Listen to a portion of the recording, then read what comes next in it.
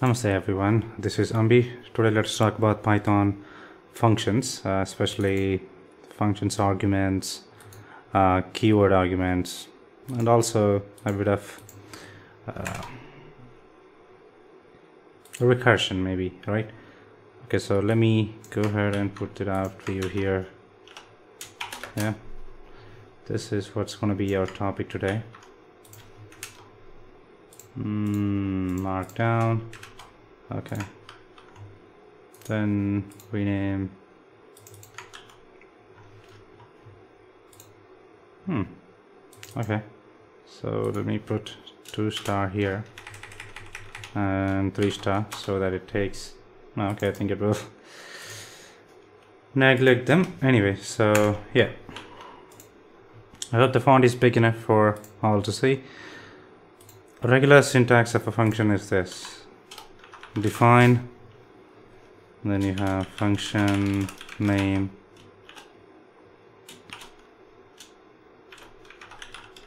Arguments. Then you have code.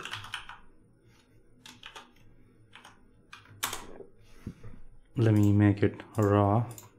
Not markdown raw. Okay so first let's look at functions with no arguments yeah.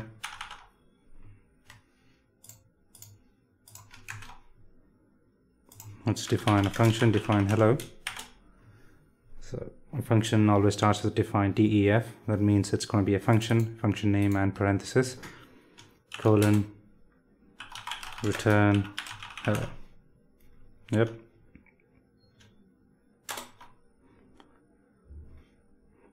if I just type hello here what happens is returns the function itself. If I do hello like this then it will run the function instead of returning the function. And I do like this. Is it acceptable? Let's see. Yep that works too right then let's talk about functions with predefined number of arguments. Go to code here markdown shift enter. Then go to define square. And I'm going to give an argument called n. It should do return n star n right? So square 2 is 2 because 2 into 2 2 multiplied by itself is 2 then we will do square of 5 that is 25 square of 3 okay. Square of 3 is 9 square of 3 is going to fail because the data type what we have given is a string and you can't multiply a string by itself. Data type is string, it will fail. You can't multiply string by itself. That's not supported, right? So then let's talk about functions with predefined okay so we talked about predefined Look, let's talk a few more examples here. Let's talk uh, let's define add x comma y. Earlier we had one argument now we have two arguments. And I'm going to return x plus y. Okay. So add 3 comma 4 add 1 comma 2 that works let's define another function define subtract x comma y it returns x minus y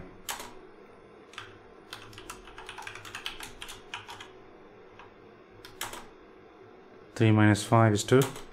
Then we have subtract thirteen minus five is eight. Basic mathematics, no big deal there let's talk about functions with unlimited arguments.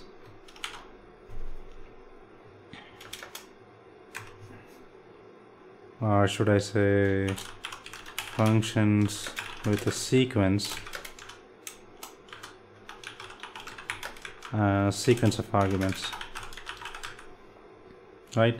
So anything which is iterable are functions with an iterable as an arguments are functions with iterable arguments. I think that is better. Uh, iterable. Mm, no, let's take it unlimited here. And this is going to be clear. So anything that you can iterate and you want to pass that as an argument to a function then this is how you do it let's say we have define adder a star args. So if you are passing a sequence to a function as an argument you always prefix that with a single star. Total equals a for arg in args. Total equals total plus arg. And then return total right? So let's say adder 1 comma 2 comma 3 there you go. Adder 1 2 3 4 5 6 adder star range 0 to 9 yep. And then adder star range 5 just 4 not 0 to 4 I'm just giving 4 because automatically it will assume that it's from 0 okay? So 1 plus 2 plus 3 plus 4 how much is it? Yep. Let's calculate 1 plus 2 plus 3 plus 4 is 10 so when I say range 4 it actually means 3 right? That's where it is. Because it is not from 0 to 4 it's 0 till 4 right? 0 until 4 let's define just this so since I'm passing a list of arguments, it's going to expect a list of arguments. I can just say this. I don't have to, uh, you know, give this option. That's not necessary. So here, then I'm going to say total. By default, I'm going to assume that sum is equal to zero.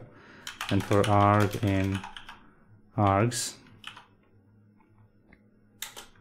total equals total plus arg then return total. So adder one two three it works. Adder one two three four five six that works too. Let's talk about functions. Functions with unlimited key value arguments so earlier we gave a sequence, now we are giving key value arguments are also dictionary. Mm. Dictionary as arguments. Key value pairs as arguments, yeah. Escape, caps, M, cap, uncap, shift enter. Let me do this. All right, so that looks neat. Or neater let's take small ones here. Print out. I'm just gonna print out the args and kwargs keyword arguments. KW stands for keyword arguments. And they will be prefixed with double star so that Python will know that you are passing a keyword argument. So you don't have to say arg in args. You can say anything for i in args. Okay. I'm gonna say for i in args itself I will say print i. Then for key value in I don't have to say key value. I can also say kv but for better understanding this is how it will say. So if you remember our discussion uh, in dictionary this is how you access all the elements in a dictionary key dictionary dot items parenthesis yeah? So print key value. So I defined a function here.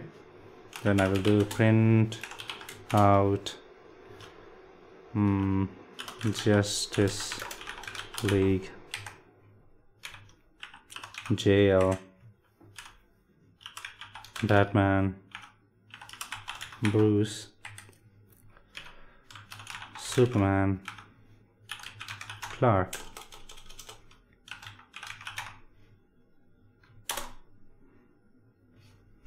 So here I gave keyword arguments. These are key value pair. This is a keyword or key and word or key value. This is just a list of arguments. This is one argument. This is one argument right so let's do it a bit neatly right? Sq i'm going to define these values here. Yep. So we have a square root a sq this is a dictionary contains key value pair. Key is one integer value is its square. Square of 2 is 4 square of 3 is 9 square of 4 is 16 square of 5 is 25 then we have another dictionary that is num. Here it's an integer enclosed in quotes so string and this is an alphabetic representation of the same. Then we have two lists 1 2 3 4 5 6 list 2 is 7 8 9 10 okay so if i just do print out ls1 right what it does is it will be treated as just one argument since we have not okay, without a star prefix. What happens? It printed out the entire list. So what we have to do here is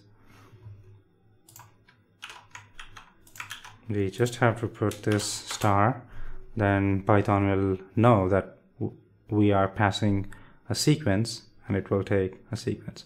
It doesn't have to be a list. I can also do tu.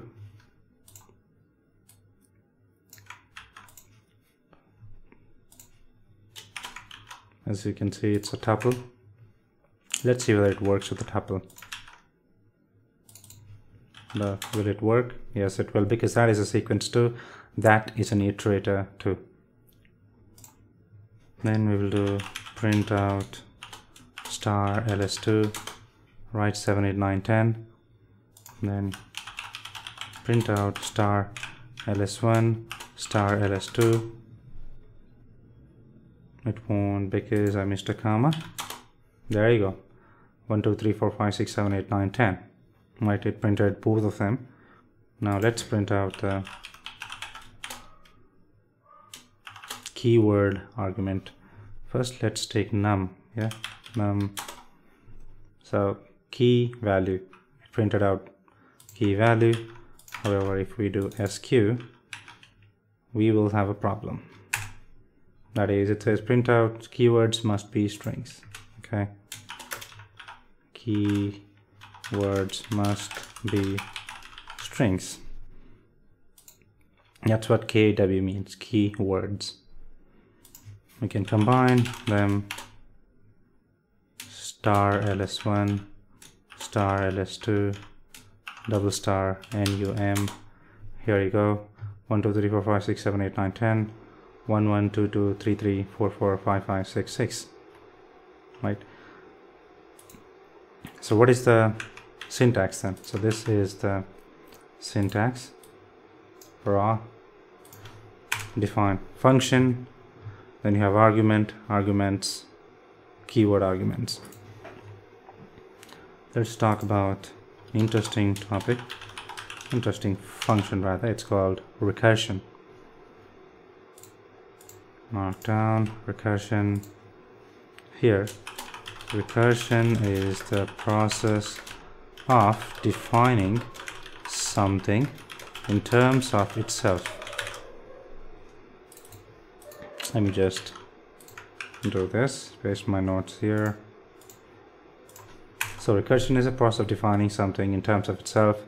Imagine two mirrors facing each other, both of them endlessly, recursively produce each other's image in itself. Like a mirrors facing each other put in parallel, right? So let's define a problem here. Let's take a, which problem? Okay, let's take this example.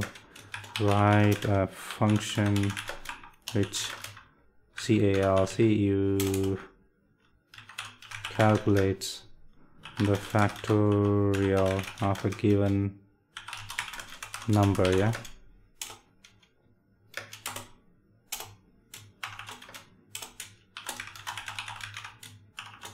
Factorial of a number is the product of all the integers integer from 1 to that number.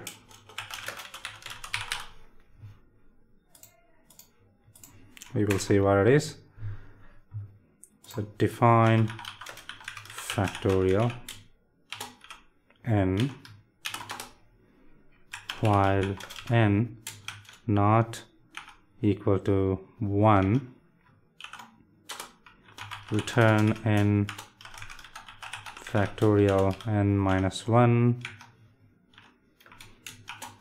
this function is calling itself here. Else return 1 so if the given value is not 1 it's gonna do this. So enter factorial 2 factorial 1 right 2 into 1 is 2 1 into 1 is 1 factorial 3 3 into 2 into 1 is 6 factorial 4 4 into 3 into 2 into 1 24 factorial 5 5 into 4 into 3 into 2 into 1 120 as you can see if you don't believe me 3 4 5 here you go 120 so in short what is recursion? Any function which calls itself recursively but is repeatedly or endlessly till it has attained a solution is a recursive function. So let's uh, rewrite that using if statement. Using if instead of while that is define factorial 2 I'm going to name it 2 if n equals 1 return 1 else return n star. Factorial 2 n minus 1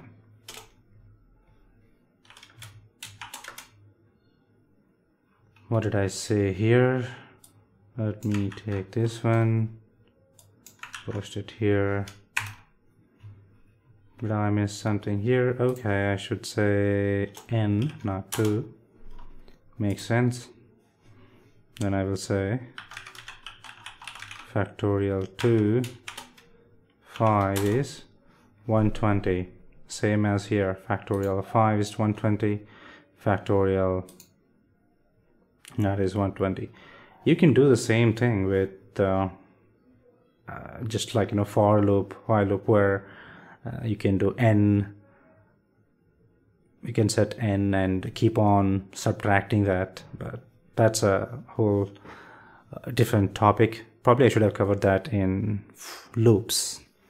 So I think that's all I had for functions. There are many other aspects to functions like lambda functions and others and how you use them in object-oriented programming. Let's say you have a huge big task which has some 20 subtasks.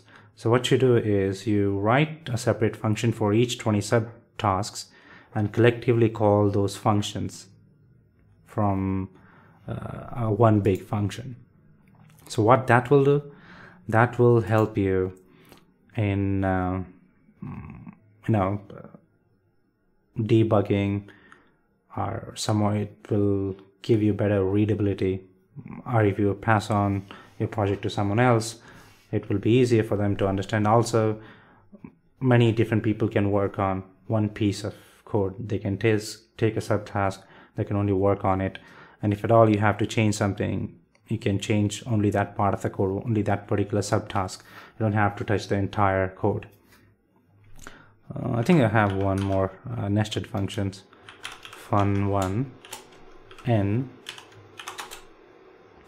Return n star 2 okay so define a function. Let me define one more function. Function 2 I will take some list yeah? Then I will do for i in some list print function 1 i function calling another function. This is nested functions right? Okay i'm gonna say i'm not even i'm not even gonna say nested function just functions calling other functions. Right. So let's uh, define ls1 is 1 2 3 4 5 fun2 is ls1 what did it do?